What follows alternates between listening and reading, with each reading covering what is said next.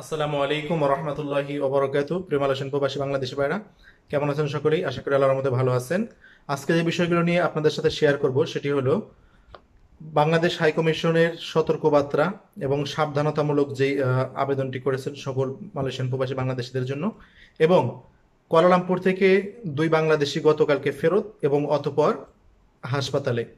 এরপরে আরও ইমিগ্রেশনের কিছু জরুরি সংবাদ আছে, এগুলো আপনাদের সাথে শেয়ার করব এবং সর্বশেষে যেটি বলব যে আপনাদের গতকালকের কিছু প্রশ্নোত্তর আজকে দিব ইনশাল্লাহ এর আগে বলে রাখি, এখন যারা আমাদের এই চ্যানেলে প্রথম, অবশ্যই আমাদের চ্যানেলটি সাবস্ক্রাইব করে রাখুন এবং বেল বাটনে ক্লিক করে রাখুন, যাতে মালয়েশিয়ার যে কোনো আপডেট সংবাদ উপস্থাপন করার সঙ্গে সঙ্গে অটোমেটিকলি পৌঁছে যায় আপনাদের হাতে। আর যারা অলরেডি সাবস্ক্রাইব করে রেখেছেন, অসংখ্য ধন্যবাদ সকলকে। এবং আমাদের ভিডিওটি প্রচুর পরিমাণ শেয়ার করে অন্যদেরকে জানার সুযোগ করে দিন, যাতে তারাও প্রতিদিনকার মতো আজকের আপডেট সংবাদগুলো জানতে পারে। ওকে ধন্যবাদ সকলকে। ওকে যেমনটি বলছিলাম যে বাংলাদেশ হাই কমিশন থেকে সতর্কবার্তা দিয়েছেন সমস্ত মালয়েশিয়ান প্রবাসী বাংলাদেশিদের জন্য এবং কি সেই সতর্কবার্তায় যে সমস্ত কথাগুলো বলা হয় যে বাংলাদেশ হাই কমিশনের বিভিন্ন সুযোগ সুবিধা প্রোভাইড করবে, সুযোগ সুবিধা প্রদান করবে, এমন কিছু কিছু চটকারিতামূলক পোস্ট, ভিডিও অথবা লিখিত আকারে অথবা ছবি আকারে সোশ্যাল মিডিয়াতে আপলোড করতেছে এক দল অসাধু এজেন্ট দালাল খপ্পর। তারা বাংলাদেশিদেরকে সাহায্যর নামে বাংলাদেশিদের পাসপোর্ট করে দিবে, বাংলাদেশিদের পাসপোর্টের ডেলিভারি এনে দিবে অ্যাপয়েন্টমেন্ট নিয়ে দিবে, স্লিপ নাম্বার নিয়ে দিবে। এই জাতীয় বিভিন্ন রকমের পোস্ট দেখা যাচ্ছে বিভিন্ন নামে, বেনামে তারা Facebook page Facebook group create করে তারা নামে বেনামে এরকম বিভিন্ন রকমের বিজ্ঞাপন তারা প্রচার করছে। তো বাংলাদেশ হাই কমিশনের পক্ষ থেকে বলা হয়েছে যে এই সমস্ত ধোকাবাজ, খপ্পর, দালালদের থেকে সাবধান। সাবধান, আপনার সাধারণ যারা প্রবাসী আছে, এরাও সাবধান এবং তাদেরকেও সাবধান করা হয়েছে যেন এই সমস্ত বিভ্রান্তিকরমূলক বা এই সমস্ত অপপ্রচার না করে। যদি এরকম তারা কন্টিনিউ করতে থাকে পরবর্তীতে কিন্তু একটা আইনি ব্যবস্থা নেবে বাংলাদেশ হাই কমিশন তাদের বিরুদ্ধে। আর এই সময় যদি আইনি ব্যবস্থা নেয়, তাদেরকে কিন্তু সমস্যা হবে। সেজন্য আপনারা সাবধান থাকুন এই সমস্ত দালাল খবর থেকে এবং যারা এই সমস্ত করতেছেন, তারাও সাবধানে থাকুন। ওকে, এরপরে যেটি বলছিলাম, গতকাল কেএলআই কোয়ালালামপুর ইন্টারন্যাশনাল এয়ারপোর্ট থেকে ফেরত দুই বাংলাদেশি এবং অতপর তারা হসপিটালে। কেন হলো? ওকে, গতকাল সতেরোই জানুয়ারি দুই হাজার একুশ মালিন্দো এয়ারলাইন্স যোগে কুয়ালালামপুর থেকে ঢাকার উদ্দেশ্যে যে ফ্লাইটটি পরিচালনা হয়, সেই ফ্লাইটে অসংখ্য বাংলা, অনেকগুলো বাংলাদেশি ছিল। এর মধ্যে দুজন বাংলাদেশি ছিল, যাদের করোনা পজিটিভ ছিল। করোনা পজিটিভ ছিল। করোনা পজিটিভ সার্টিফিকেট থাকা সত্ত্বেও, করোনা পজিটিভ তারা নিজেরাও জানতো। এরপরেও তারা কোয়ালালামপুর ইন্টারন্যাশনাল এয়ারপোর্টে গেছে দেশে যাওয়ার উদ্দেশ্যে।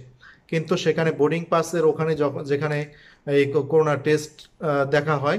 সেখানে দেখা গেল যে তাদের করোনা টেস্ট পজিটিভ তখন তারা বিমানের এবং মালিন্দো এয়ারলাইন্সের এবং এয়ারপোর্টের যে ম্যানেজমেন্ট কমিটি ছিল, তারা আলোচনা করে পরবর্তীতে স্থানীয় কোয়ালালামপুর ইন্টারন্যাশনাল এয়ারপোর্ট এরিয়ার যে পুলিশ হাই কমিশনার আছে পুলিশ কমিশনার আছে পুলিশ কমিশনারকে এই বিষয়গুলো জানায় এবং কি তিনি তাৎক্ষণিক মালয়েশিয়ার হেলথ মিনিস্ট্রি অর্থাৎ স্বাস্থ্য মন্ত্রণালয়ের সাথে যোগাযোগ করে পুলিশ এবং স্বাস্থ্য মন্ত্রণালয়, দুই মন্ত্র- মন্ত্রণালয়ের মাধ্যমেই তাদেরকে আর দেশে যেতে দেওয়া হয় না।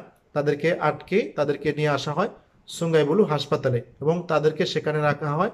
যতদিন না পর্যন্ত করোনার নেগেটিভ না আসে, সে, ততদিন পর্যন্ত তাদের ওখানেই রাখা হবে।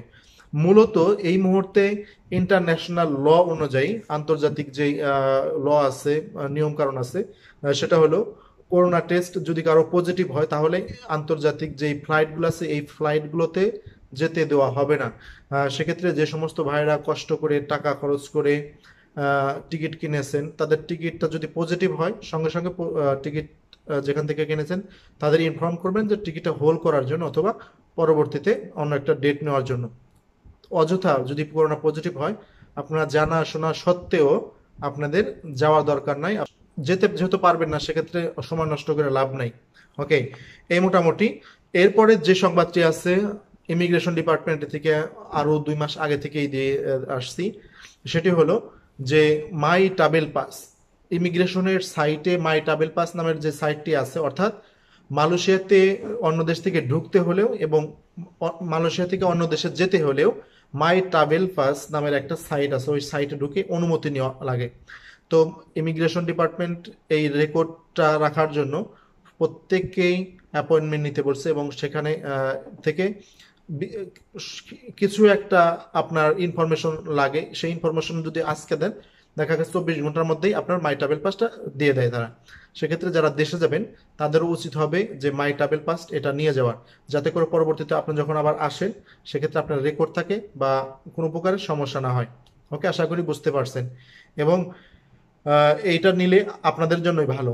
কিন্তু অনেকেই এটা বিষয়গুলোকে অতটা গুরুত্ব দেয় না। কিন্তু গুরুত্ব দেওয়া উচিত ইমিগ্রেশনের এটা আদেশ। ওকে এরপরে যেই সংবাদটি আছে, সেটিও বাংলাদেশিদের জন্য। এটি হলো কিছু বাংলাদেশি ব্যবসায়ী আছে, তারা লকডাউন সময় এসওপি ভঙ্গ করে তাদের ব্যবসা পরিচালনা করছে। এই এসওপি ভঙ্গ করার মধ্যে যেগুলো আছে যে, এখন সরকারের বিধিনিষেধ যে সকাল আটটা থেকে রাত আটটা পর্যন্ত শুধুমাত্র মুদির দোকান বা এরকম সুপার শপগুলো খোলা যাবে। কিন্তু দেখা গেছে অনেক এরকম মুদির দোকান এবং সুপার শপগুলো খোলা হচ্ছে। সকাল আটটা থেকে খোলা হয় ঠিকই, কিন্তু আটটার সময় বন্ধ করা হয় না। সন্ধ্যা আটটা না বন্ধ করে রাত এগারোটা, বারোটা পর্যন্ত তারা খোলা রাখে। এই সমস্ত অনিয়মের কারণে কিন্তু ইমিগ্রেশনের দ্বারা, এদেশের সরকারের দ্বারা পাকড়াও হতে পারে, মোটা অঙ্কের জরিমানা সহকারে হতে পারে জেল। সেই জন্য যে সমস্ত ভাইয়েরা এরকম মুদির দোকান করেন, মিনি মার্কেট করেন এরকমই করেন, তারা খুব সাবধানতার সাথে থাকবেন এবং কি এদেশের সরকারের বিধিনিষেধ অনুযায়ী আপনারা ব্যবসা পরিচালনা করবেন। ওকে? এরপরে যেগুলো আছে, এই মোটামুটি আজকের আমাদের পাওয়ার আপডেট সংবাদ। এখন আপনাদের সাথে শেয়ার করব আপনাদের গতকালকের কিছু প্রশ্ন উত্তর। আমি চেষ্টা করি যে প্রতিদিনই আপনাদের আপডেট সংবাদের সাথে সাথে কিছু প্রশ্ন উত্তরও আপনাদের সাথে শেয়ার করতে যাতে আপনাদের প্রশ্ন উত্তরগুলো পেয়ে যান। ওকে আজকের প্রশ্ন উত্তরের মধ্যে যেটি আছে একজন বলছেন যে অবৈধ থেকে বৈধ হওয়ার জন্য যারা ফিঙ্গারপ্রিন্ট করেছে রিসেন্টলি তারা কীভাবে জানবে যে তাদের রেজাল্ট ওকে এই প্রশ্নটা যদিও একেবারে একটা সহজ প্রশ্ন হয়তো তিনি জানেন না দেখে করছে আপনার কীভাবে জানবেন? আপনার ফিঙ্গারপ্রিন্ট করার সঙ্গে সঙ্গে তো আপনি জানবেন। আপনি যদি পাস হন, তারা আপনাকে তারা আপনার কাগজপত্র জমা নিবে পরবর্তী ধাপ করতে দেবে। আর যদি আপনি পাস না হন, তাহলে তো আপনাকে তখনই রেজাল্ট দেবে এবং কি বলবে যে পাঁচ দিনের মধ্যে। পাঁচ দিনের মধ্যে আপনার যে মালিক আছে, সেই মালিকের মাধ্যমে পাঁচ দিনের মধ্যে অথবা সাত দিনের মধ্যে অথবা দশ দিনের মধ্যে আপনাকে দেশে পাঠিয়ে দিতে হবে। সেই দিনই তো আপনি যেদিন ফিঙ্গারপ্রিন্ট করেন, সেই দিনই তো আপনার রেজাল্ট পেয়ে যাবেন। এতে আহামরি আর কি আছে। হয়তো বোঝেন নাই আপনি। যাই হোক। এরপরে বেশ কয়েকজন ভাই প্রশ্ন করেছিলেন যে, মোয়া এবং পিনাঙে যে পাসপোর্ট দেওয়ার কর্মসূচি ছিল, যে পাসপোর্টটা স্থগিত করা হয়েছে, পরবর্তীতে কবে দেবে পাসপোর্ট বাংলাদেশ হাই কমিশন ওকে তাদের জন্য বলব যে বাংলাদেশ হাই কমিশন তাদেরকে অলরেডি বলে দিয়েছে যে, তারা পরবর্তীতে একটা নির্দিষ্ট দিন তাদের জন্য ধার্য করবে।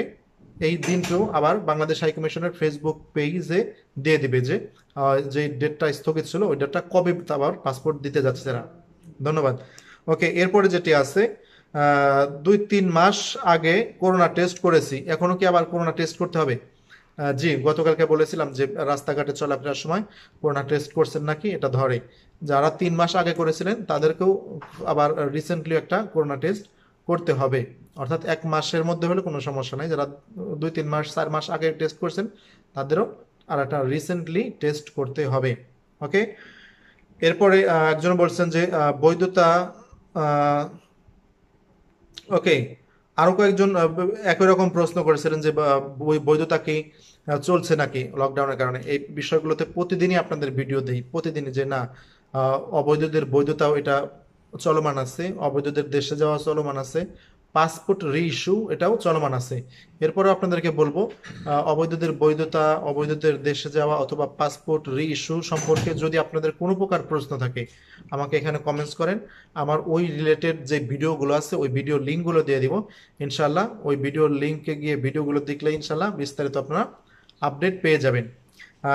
এরপরেও প্রতিদিনই আপনাদের কাছে তো আপডেট দেই, প্রতিদিন আপডেট দেওয়া তালেই থাকি। ইনশাল্লাহ প্রতিদিনকার আমাদের সাথে থাকুন, প্রতিদিনকার আপডেট খবর আপনারা পেয়ে যাবেন। এরপরেও একজনে বলছেন, সে আবার একটু পাকনামি করে, যে ভাই ভিডিও ছোট করলে ভালো হয় বা এই সেই। তো আমি তাদেরকে বলব, আপনারা যদি মনে করেন যে প্রথম তিন মিনিট আপনার যে তথ্য জানার হয়ে গেছে, আপনার প্রথম তিন মিনিট আপনি দেখেন, আপনি যদি মনে করেন যে দুই মিনিটে আপনার যে তথ্য জানা দরকার হয়ে গেছে, তাহলে আপনি নিজে থেকেই দুই মিনিট দেখেন। আপনি যদি মনে করেন যে পাঁচ মিনিট আপনার তথ্য পেয়ে যান, আপনি পাঁচ মিনিট দেখেন। আমাদের তো এখানে বাধ্যবাধকতা নেই যে আপনার এখানে ক্লিক করে আপনার প্রথম থেকে শুরু করে শেষ পর্যন্ত দিতে হবে। তবে অনেক ভাইরা আছে আমাকে প্রশ্ন করে থাকেন, আমি প্রতিদিন প্রথম পাঁচ মিনিটে আপডেট সংবাদগুলো দিই পরবর্তী পাঁচ মিনিট আপনার প্রশ্ন উত্তরগুলো দিই যে সমস্ত ভাইরা প্রশ্ন করেন, যে যাদের দরকার আছে প্রশ্ন উত্তরগুলো তারা ধৈর্য ধরো, ধৈর্য ধরে প্রতিদিনই ভিডিওগুলো শুনে। অনেক কমেন্টস আছে যে, ভাই ভাই ভাই, আপনার সংবাদ প্রতিদিনই আমরা দেখি, প্রতিদিনই মোবাইল নিয়ে বসে থাকি আপনার সংবাদটা জানার জন্য। সেই সমস্ত ভাইয়ের জন্য আসলে আমি ভিডিওগুলো করি। তাছাড়া যাদের এরকম অনেক ব্যস্ততা, সময় নাই, তাদের জন্য আমার ভিডিও না। আমি ওই সমস্ত ভাইদের জন্য করি যারা আমার ভিডিও ধৈর্য ধরে শোনার মতো মেন্টালিটি আছে বা মন মানসিকতা আছে তাদের জন্য। আর যারা আমাদের ভিডিওগুলো পছন্দ করে তাদের জন্য। তাছাড়া যার যা মানে ইচ্ছা, সে ততটুকু দেখতে পারেন, কোনো সমস্যা নাই। কারণ তো এখানে জুলুম নাই। বা আমার ভিডিও দেখার জন্য প্রতি মাসে আপনারা বিশ রিঙ্গিত, তিরিশ রিঙ্গিত আমাকে দেন, এরকমও না। আমি নিজে থেকেই আপনাদের জন্য এগুলা করি। আশা করি এই উত্তর মানে প্রশ্ন উত্তর এবং আপডেটগুলো আপনাদের ভালো লাগে, সেজন্য এগুলা করা। যাই হোক, আজ এই পর্যন্তই। এরপর যদি আপনাদের কোনো প্রকার প্রশ্ন থাকে, আমাকে এখানে কমেন্টস করেন। আমি আপনাদের কমেন্টসের উত্তরগুলো দেওয়ার চেষ্টা করব এবং আমাদের ভিডিওটি প্রচুর পরিমাণ শেয়ার করে অন্যদেরকে জানার সুযোগ করে দিন যাতে তারাও আজকের আপডেট সংবাদগুলো জানতে পারে। সকলে ভালো থাকুন। দেখা হবে আগামীকালকে নতুন কোনো ভিডিও নিয়ে। আসসালামু আলাইকুম ওরহমতুল্লাহি ওবরাকাতুহ